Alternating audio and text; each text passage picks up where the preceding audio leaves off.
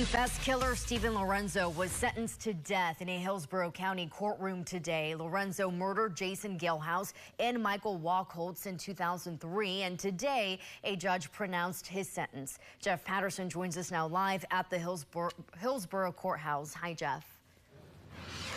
Good evening. Steven Lorenzo has admitted killing Jason Galehouse and Michael Wachholtz.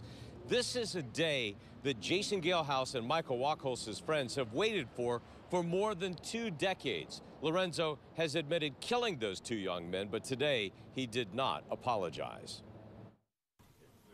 Steven Lorenzo has admitted killing Jason Galehouse and Michael Wachholtz. Today, he once again asked the Hillsborough County judge to sentence him to death. I'm seeking the death penalty. It's in my best interest, basically, because um, it's a comfort. It's I'll be living a lot more comfortable than I would in the federal system. Judge Christopher Sabella then pronounced sentence. From one Italian to another, ti condanno a morte. That translates to I sentence you, Mr. Lorenzo, to death. That is the punishment that you deserve for these horrific crimes.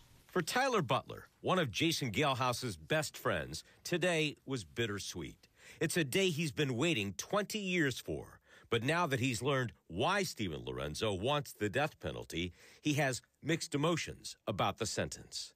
I had no clue that the benefits of death row, getting television, being able to, to have a, a room on their own, uh, I believe he should suffer as much as possible. There will be an automatic appeal to today's death sentence, but Steven Lorenzo told the court today that he wants to speed up that process because he doesn't want to wait 15 years to be put to death. Live in Tampa, Jeff Patterson, 8 on your side.